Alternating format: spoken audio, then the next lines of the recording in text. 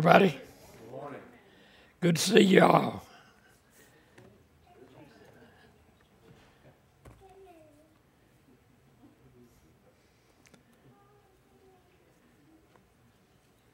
Our scripture for the message today is in Luke chapter 12,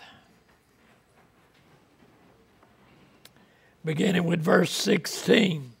This is a story probably familiar to you all. And the Bible says there, He spake, that is Jesus, a parable unto them, saying, The ground of a certain rich man brought forth plentifully. And he thought within himself, saying, What shall I do, because I have no room where to bestow my fruits? And he said, This will I do. I will pull down my barns and build greater, and there will I bestow all my fruits and my goods. And I will say to my soul, Soul, thou hast much goods laid up for many years. Take thine ease, eat, drink, and be merry.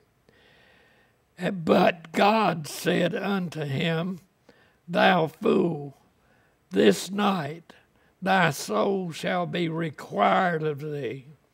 Then whose shall those things be which thou hast provided? So is he that layeth up treasure for himself and is not rich toward God. Let's pray. Father, again, we're thankful for your word and for this part that we've read, which is ask, Lord, your blessings upon us as we hear uh, these words and uh, this message. We pray that you give us an open heart and mind to absorb those things that you have for us. In the name of Christ. Amen.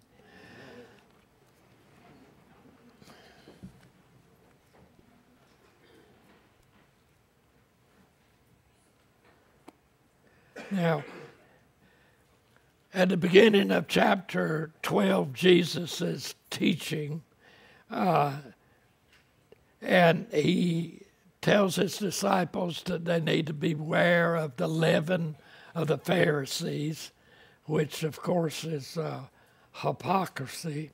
Uh, they were one thing on the outside to everybody that could see them, but they were different on the inside.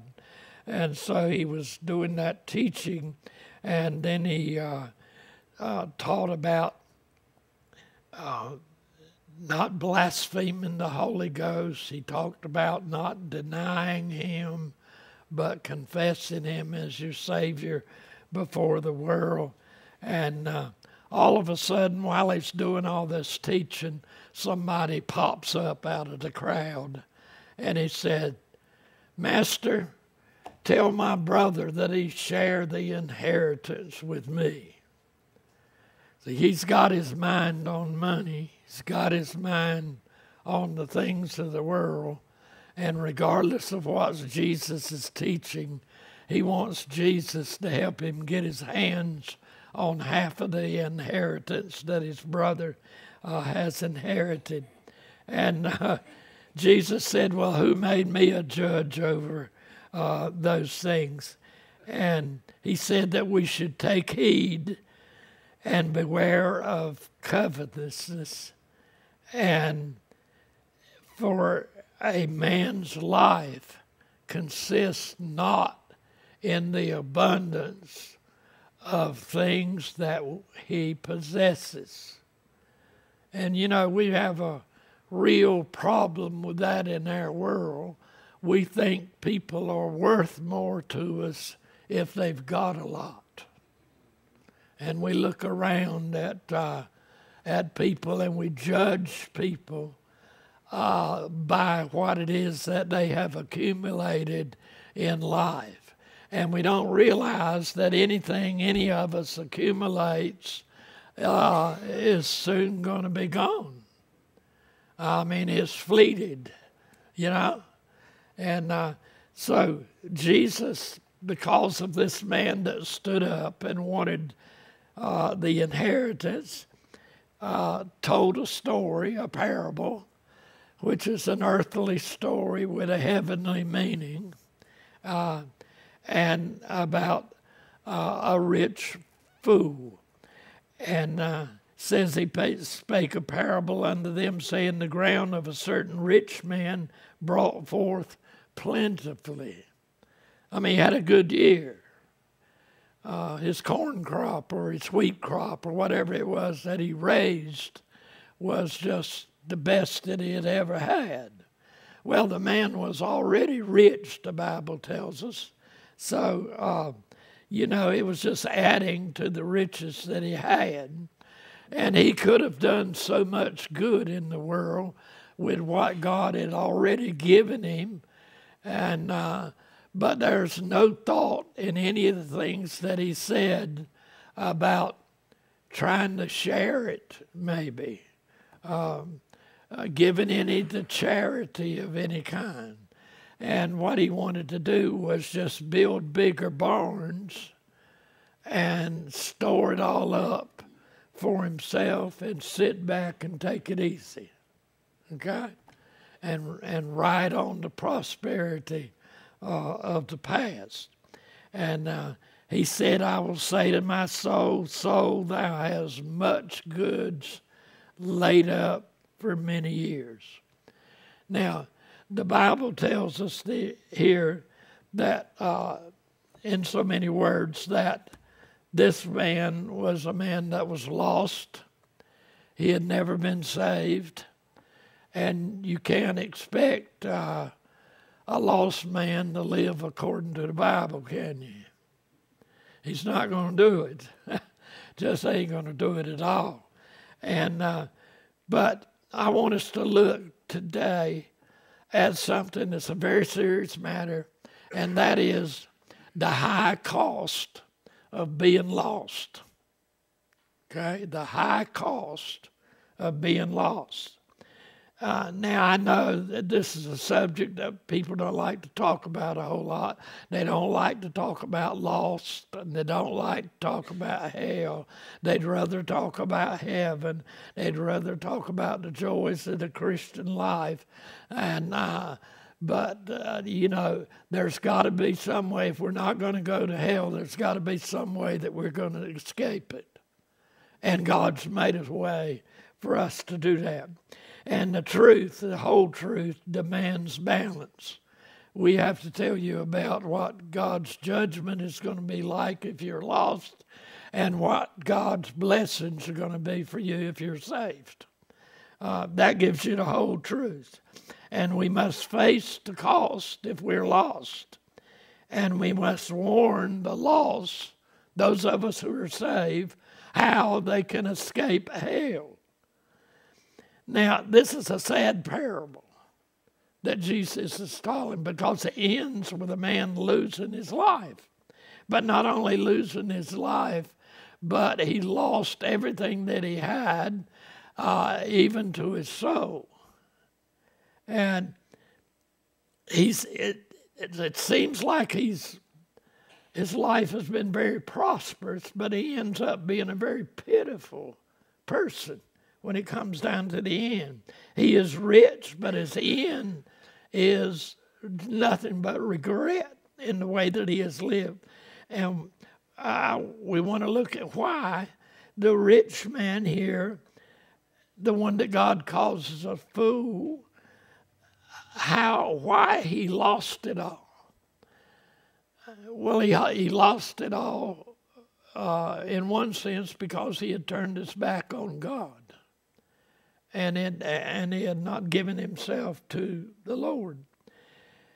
Well, one thing is that his happiness in this life that he's living was based on what happened around him, what his circumstances were. And when we see the first part of this parable, we find out that this man's circumstances were very good. Okay? I mean, he was a he was a big farmer, a rich farmer, and he had a bumper crop come in at harvest time. And he had so much more than he ever dreamed that he was going to have. If he'd have dreamed he was going to be that that big, he would have already had them bigger barns built. But he didn't know that. And now what he says he's going to do is build bigger barns in order to take in uh, the the great harvest that the Lord has given him. And by the way, he never mentions that the Lord has given him this great harvest. You know, everything that any of us have is what the Lord has given us, that what He has put into our care to use. And uh, so we can't brag about having anything uh, of our own. But if you look at the scripture, it says the ground of a certain rich man brought forth plentifully, and things changed immediately. Um, everything seemed to be going so well for him in his life, and success in farming was the thing that had made him so happy about this bumper crop. Well, the bumper crop is something that now is in the past. He's got it stored in his mind, or he, at least in his mind, he's got it stored in those new barns that he's going to build, and everything's all right. And you know, one of the things I thought about is you can't change the past. Okay? The past is what it is, and you cannot change it. You may go back and try to make up for some of the things you did wrong, but you're not going to change the past. But what can change is the present and the future. They can both change, and it depends on your attitude toward the future and the present. What are you going to do with your life? Now, whenever you go to make investments, they're always risky especially if you go out there and plant it in the ground. Okay, you got to have the right amount of sunshine, you got to have the right amount of moisture, and uh, you got to tend to it, uh, and and you'll get a good crop if you get those things. But I was listening at the newscast uh, a little while ago, uh, probably a month or so ago, and they were talking about how it was with farmers in North Carolina. And you know that the farmers lost 50% of the corn crop in the state, statewide. 50% of the corn crop this year because of drought. They didn't get the moisture they needed. They got plenty of sunshine. In fact, they got too much sunshine. Uh, but you know, imagine what that does to you and all the investment you've got in the planning. And it's a good thing that a lot of them had some insurance on that corn crop that would help them out. But uh, things can change, and they can change pretty instantly sometimes. And financial reserve, uh, reverses would have done uh, bad things to this man. And a drought would, like we've had in, in North Carolina, would have devastated him because he would have thought himself a bad farmer. Too much rain would have ruined him. And uh, he but the whole problem with him is that he didn't have any inner peace, okay? He didn't have the peace of God which passes all understanding. Uh, and he didn't have that in his heart because he's the kind of person that thought about things all the time. Just things. Things that he wanted, things that he desired. And that's all he thought about in life. So he had no inner peace. And I tell you, only faith in the Lord Jesus Christ is going to equip us for tough times ahead. We need to remember that. Only faith in Christ will help you do that. His holdings, the things he had gathered up, were limited to earthly things. When the Bible plainly tells us to lay up for ourselves treasures in heaven and not on the earth. So, This rich man has got his bumper crop and he says, What shall I do? I ain't got room for all this. You know, and uh, his prosperity produced some problems. He was going to have to build bigger barns, or else he didn't know what to do with all the success that he had had. His increasing wealth complicated his life. That's one thing I don't have to worry about. My increasing wealth and got to got me too complicated so far. I understand what's going on, you know. But uh, this man had problems with all this that he had, and he gave no thought, as I said, to sharing some of it with somebody else that may be in need. Uh, and so this rich fool suffered from eye trouble. Listen to him. He said, This will I do. I will pull down my barns and build new barns. I will do that. Okay.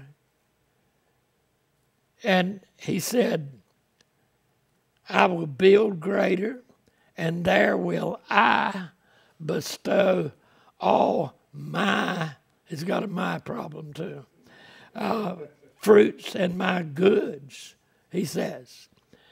And, you know, and then my new barns, big, beautiful barns that I've got full of all of my stuff that I've harvested are going to stand out here and everybody can see them and see how successful I am.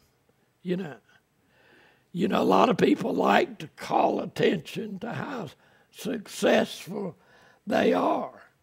Uh, and they look, they say in their heart, Look at me, look what I've done.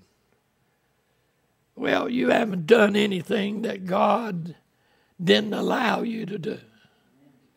Okay? And I wouldn't be claiming that if I was him when God is the one that made the wheat grow and he's, he was completely in control of that farmer's uh, crop. Because he sends the rain and he sends the sunshine. And so this farmer did not realize everything that he harvested was perishable.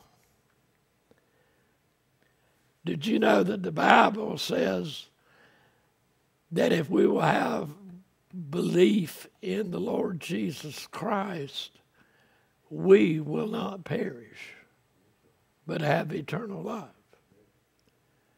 The only thing that is going to last forever is that which is in the hands of the Lord. That includes me and you. But this man had his hopes on everything that was earthly. That's all. He was called a rich fool by God Himself. But he thought he had all of his ducks in a row. You know, he said, Soul, take it easy. Lay back. Eat, drink, and be merry. You made it to the top. But his plan for the future was faulty he had planned on taking it easy. He was going into early retirement. Okay? And he was planning on taking it easy and having plenty to eat and plenty of entertainment that he liked, but he neglected to plan for eternity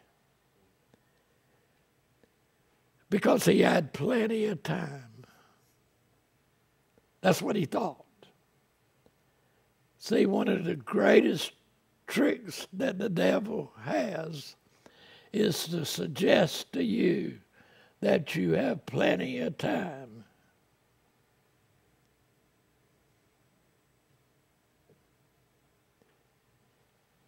But the devil doesn't know how much time you have. You might have a day, you might have 60 years. You don't know.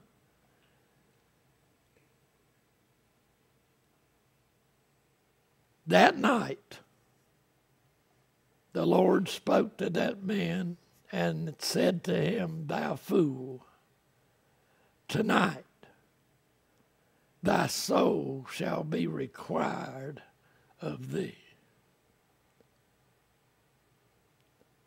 Then who's going to have control of all that that you have? You can't take it with you. You've heard that before, haven't you? You can't take it with you.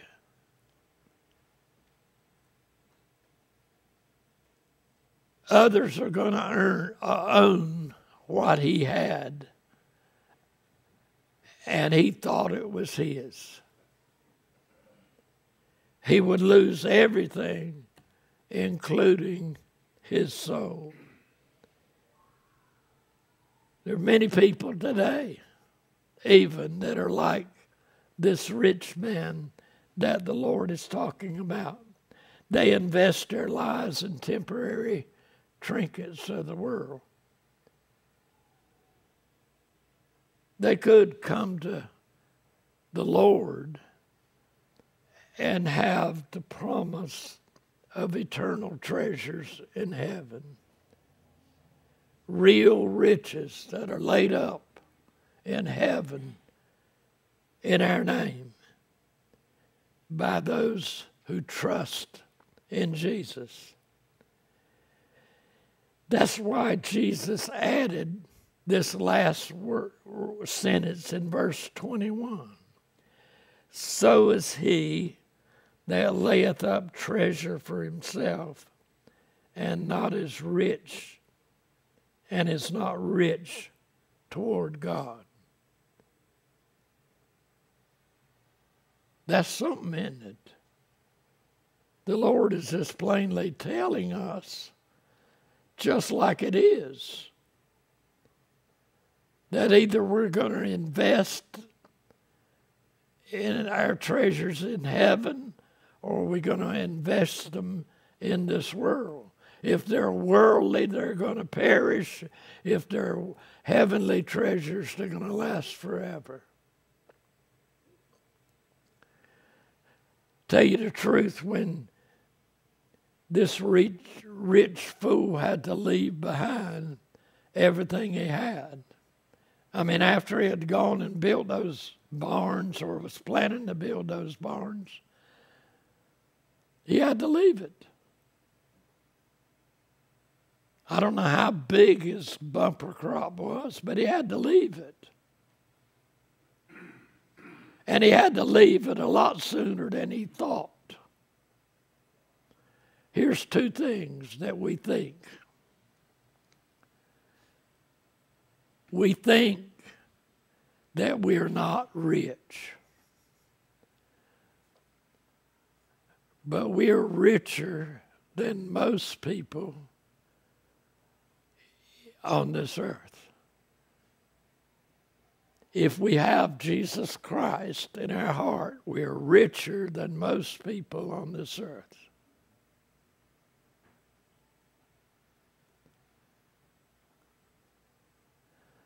Well, we are rich because we have the promise that's laid up in heaven for us. If somebody asked us how rich we are, you'd say, not, not much. Not much. And we think we, we're not very rich. But I'm going to tell you something if you've got your health, you're rich. Okay? That's one, one of the riches God's blessed us with is health. And I know some here that haven't been healthy in a while. I'm one of them, I'm not real healthy, but I'm pretty good. You know, I'm doing pretty good. But uh, we're rich if we have enough health that we can get to church because there's so many that can't. And so that's part of the riches that we have. The other thing that people think is that even though I feel good, I don't think I'm going to die today. You know? I just don't believe I am. But we don't know that. There's somebody bigger than you and me that's in control of that.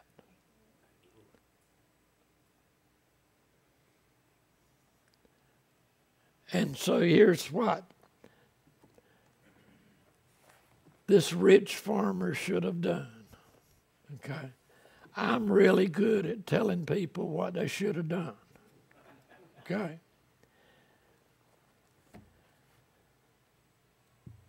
This rich farmer should have accepted everything that he has as what the Lord gave him to be a steward of. That's what we ought to do. If we don't have much or if we have a lot, we're a steward of whatever we got. That's a good poem, ain't it? Somebody wrote this little poem one time, and I forgot it. it matters not how much you got, it matters how you use what you have. A lot. That ain't exactly how that poem goes, but I got it. But uh, anyway, uh, but this rich man should have done that. He should have recognized God and all of his blessings. Folks, we're blessed. And we should recognize God for what he's done in our life. And then we should be good stewards of it.